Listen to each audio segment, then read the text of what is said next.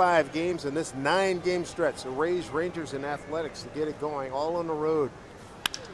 Miller gets into one. Deep to the gap, right center field. Brad Miller, Floridian is homered to open up this ball game. As he mentioned in the pregame show, 25 to 30 tickets, family, friends, and ex-teammates and coaches, and they see him go deep. And the Mariners have a 1-0 lead. That's a way to thrill the family. Gets a fastball out over the plate. Brad aggressive on the fastball. We all know that. But he puts a charge into this. Out to right center field. Brad, his third home run, almost hits it in the tank out there.